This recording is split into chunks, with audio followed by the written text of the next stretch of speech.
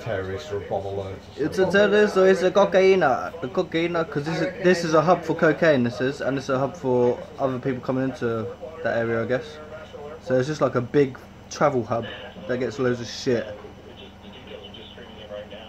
Is that police on the on the jetway there? Nah, Security. airport and it looks like So they've- passengers as well. It looks like they evacuated, doesn't it? Everywhere. They're all getting told to go Well, it's just a, stay off their side. movement if the security area has been breached at all, which I'm pretty certain it has been based on the details we have. so Look at that. well, security if there is a breach inside the terminal, let's say, especially inside uh, the area after TSA, after security screening. What does that mean by what's breached? procedure there if they suspect Entered. someone got As in someone's tried getting through. Yeah, they've got through. Or- Someone's or- got through without a passport, basically. It could be just that, innit? Or it could be. But look at this evacuation.